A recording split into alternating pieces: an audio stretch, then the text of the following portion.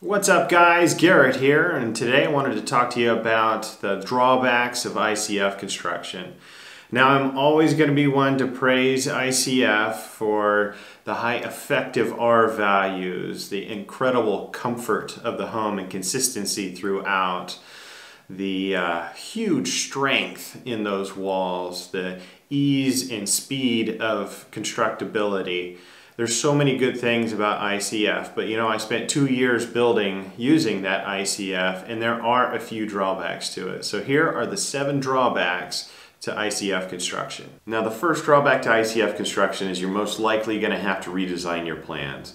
Now there are ICF plans out there and if you find those, that's great, you can skip this. However, the majority of them are made for 2x4 or 2x6 homes. So you're gonna have to hire an architect or somebody to redraw those plans to accommodate the thickness of that ICF block.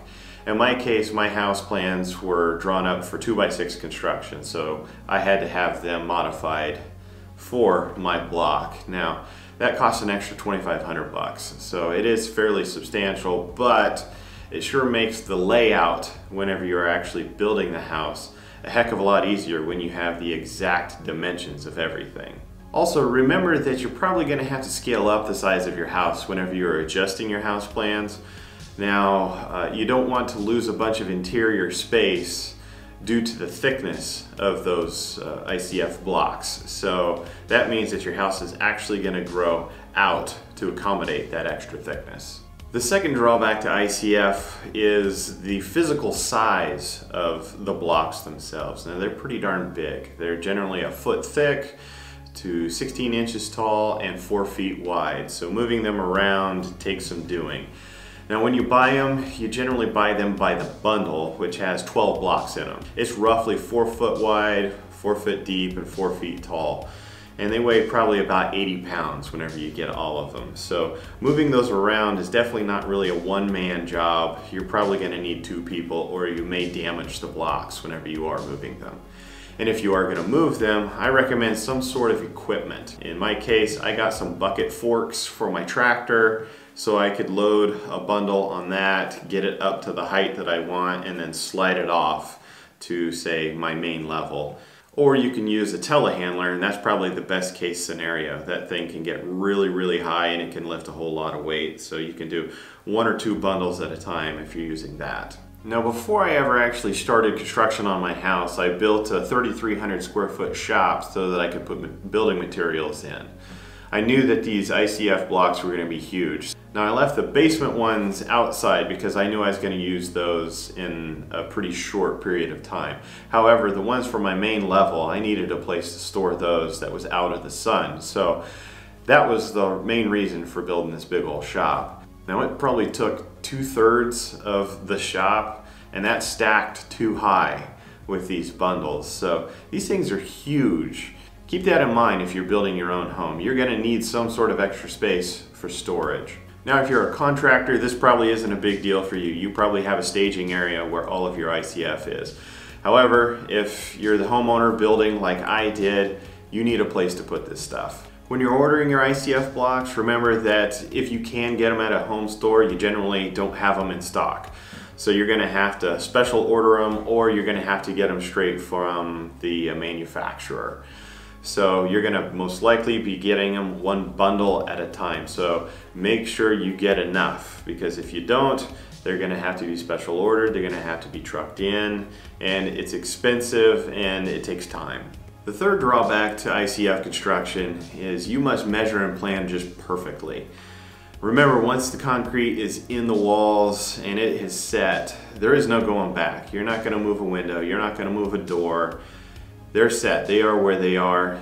Do it right the first time. Take a little extra time before you ever put concrete in that wall. Make sure everything is perfect. Also, spend a lot of time thinking about the penetrations that go through the wall. The things like the, the gas line, the water line, the sewer line, the electric line, the sump pump, the fresh air for your HVAC, the internet, the phone, I mean anything that has to go through the, the walls. It could be, you know, for a water spigot. It could be electrical for a switch or something like that. If it's small enough, you can drill through the wall, but if it's big, you either have to core through it or you may just be out of luck. Number four, ICF walls are really thick. So around your doors and windows, you're most likely gonna have custom trim. Also remember that square footage is determined from the outside of the walls to the outside of the walls. So you're gonna lose about a foot of thickness on each side. You're actually gonna lose square footage and you're going to be taxed on the total square footage of your house, even though some of it is uh, just the wall space. Number five, the blocks could get sun damage during construction. Now, you'll notice as construction goes on and your blocks are still uncovered, so the drywall's not on them, the siding's not on them, whatever that is, you'll notice a color change. It goes from a very, very bright white to kind of a pale yellowish color. Now, this is just the very thin layer on the outside of the block being sun damaged. It does not affect the structural integrity of the block, so you don't have to worry about that. But where it becomes a pain is it, it makes a really fine powder on the outside of the block. Unless you scrape or brush off this powder, things like your waterproofing membrane or your flashing tape are not gonna stick to the block. So you either have to brush it off, which is definitely something you want to do, and there's a primer that they make that you can roll on to the outside of the block that makes things stick to it a heck of a lot better. I definitely recommend that primer, but it is a whole nother procedure and expense that you have to go through before you can attach the tape or the waterproofing membrane. The sixth drawback to ICF construction is that you can't really run a lot of things within the walls themselves. Now, typically I'm talking about the interior of the walls. You have two and a half inches of foam, so you have to be mindful of what runs within that two and a half inches. For example, your plumbing. So you generally on those outer walls, the ICF side of the walls, you're not going to want to put anything more than like an inch and a half pipe in. You can run two inch pipe, but remember that two inch pipe is two inches inside diameter. The outer diameter is closer to two and a quarter inches. And if you have any sort of couplings that join two pieces together or elbows or that sort of stuff, that coupling can be two and a half inches to even sometimes a little bit greater, which pushes your drywall out. When you're initially designing your home, try to think about what is going to be in those walls. So if it's plumbing, if it's electrical, if it's cable, whatever it is, put as much of it in the interior walls as you possibly can. Uh, the less that you have to put in the ICF walls, the fewer the channels that you actually have to cut out within the walls. You don't have to get into the thickness issues where you may have to actually shim out your wall because you have something within it that is too thick. You definitely don't want to put like a dryer vent on an outside wall. Make sure it's on an interior wall. The last drawback I wanted to talk about with ICF uh, is actually the moisture in the walls. So you have to remember you fill those walls with concrete and that concrete has a whole lot of water in it. And that water has to escape somehow as that concrete cures. And it's going to find those little crevices and cracks between those blocks to come out. However, it's going to do it really slowly. So it's imperative in those early days to have dehumidifiers running, even while you're in construction. Now I noticed within the first year of living in our house, having the drywall in place, having the siding in place, that the humidity levels hovered around 60%. And that is way too high, uh, not only for comfort, but you run the risk of, of getting mold.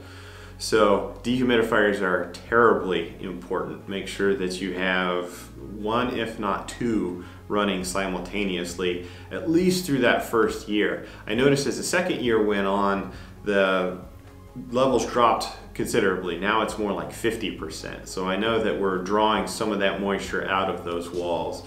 But again, dehumidifiers, super duper important. Another issue I noticed with the moisture was uh, corrosion on the electrical components, especially in the basement. I had to take the outlets and the switches out so that I could finish my basement and when I did that I noticed quite a bit of corrosion on the back sides of it.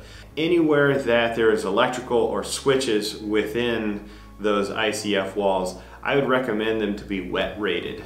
Even though there are some drawbacks to ICF, the benefits far, far outweigh any problems associated with it. Just go back, rewatch this video, and make any of the little adjustments and changes that I suggested throughout all the points that I made. Using this technology, your house will be so much quieter, your bills are gonna be so much lower, and you're gonna build something that's gonna last a really, really long time, and it's really just not gonna rot from underneath you.